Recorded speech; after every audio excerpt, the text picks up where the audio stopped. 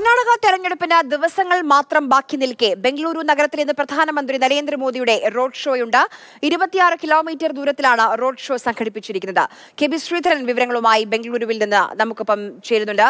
Sreedharan good morning അവസാന ലാപ്പിലേക്ക് കർണാടക നീങ്ങുമ്പോൾ കഴിഞ്ഞ തവണ മോദി എത്തിയപ്പോഴുള്ള ആ ബജ്രംഗ് ദളുമായി ബന്ധപ്പെട്ട് നടത്തിയ പരാമർശം അത് വലിയ മാറ്റം പ്രചാരണത്തിന്റെ ഒഴുക്കിൽ വരെ വരുത്തിയിരുന്നു. ഇന്ന് എന്ത് പ്രതീക്ഷിക്കണം മോദിയിൽ നിന്ന്?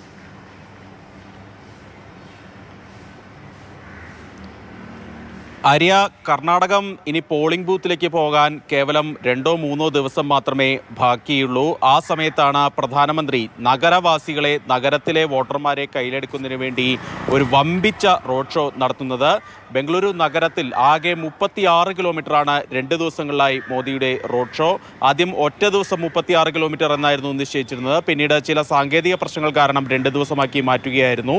ഇന്ന് ഏതായാലും ആണ് വലിയ റോഡ് ഷോ സംഘടിപ്പിക്കുന്നത്. ഇരുപത്തിയാറ് കിലോമീറ്റർ ഏതാണ്ട് പതിനേഴ് മണ്ഡലങ്ങളിലൂടെ ഈ റോഡ് ഷോ കടന്നു പോകുമെന്നാണ് മനസ്സിലാക്കുന്നത്. കഴിഞ്ഞ തവണ പന്ത്രണ്ട് മണ്ഡലങ്ങളിലാണ് ബി ജെ പിക്ക് നഗരമണ്ഡലങ്ങളിൽ പന്ത്രണ്ടിടത്താണ് ജയിക്കാനായത്. ഇക്കുറി അതിന്റെ എണ്ണം കൂട്ടുക എന്നുള്ള ലക്ഷ്യം തന്നെ ബി ജെ പിക്കുണ്ട്. നേരത്തെയും നഗരത്തിന്റെ മറ്റൊരു ഭാഗത്ത് നാല് ദിവസം മുൻപ് പ്രധാനമന്ത്രിയുടെ റോഡ് ഷോ നടത്തിയിരുന്നു. ഏതായാലും വലിയ തോതിൽ പ്രധാനമന്ത്രി തന്നെ നേരിട്ട് പ്രചാരണം നയിക്കുന്ന കാഴ്ചയാണ് അവസാന ലാപ്പിലേക്ക് നീങ്ങുമ്പോൾ കർണാടകയിൽ കാണുന്നത്. മോദി പ്രഭാവം തന്നെയാണ് ബി പറയുന്നത്. മോദി പ്രഭാവത്തിൽ ജയിച്ചു കയറാമെന്നുള്ള ഒരു പ്രതീക്ഷ. അതോടൊപ്പം തന്നെ ധ്രുവീകരണ രാഷ്ട്രീയം അതിന്റെ ഉച്ചസ്ഥായിലേക്ക് കർണാടകയിൽ എത്തുന്നു.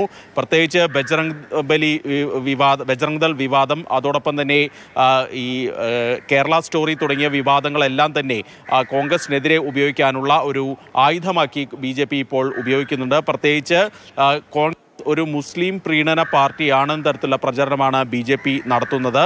ഹിന്ദുക്കൾക്ക് രക്ഷയുണ്ടെങ്കിൽ അല്ലെങ്കിൽ തീവ്രവാദം ഇല്ലാതാക്കണമെങ്കിൽ കർണാടകയിൽ സുസ്ഥിര സർക്കാർ വരണം. അതിന് ബി ജെ പിക്ക് കേവല ഭൂരിപക്ഷം വേണമെന്നാണ് പ്രധാനമന്ത്രി പറയുന്നത്.